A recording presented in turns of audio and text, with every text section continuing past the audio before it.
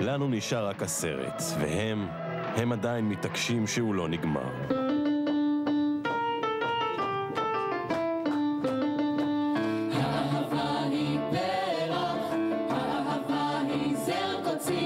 מי שעדיין מאמינה בתחייה המחודשת של הלהקות היא המוסיקאית והמלחינה נורית הירש. הירש ששירתה בלהקת השריון התגייסה לטובת ניסיון הקאמבק ואפילו תרמה את השיר הזה שנכתב על ידי אהוד מנור והמתין אצלה 27 שנים במגירה.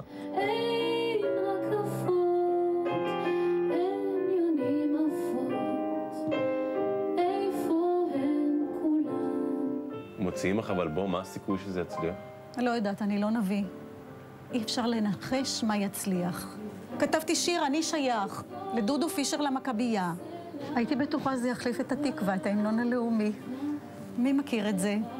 אני, אהוד מנור, שכתב את המילים, ועוד שניים, שלושה אנשים. ודודו פישר. אם הוא זוכר את זה.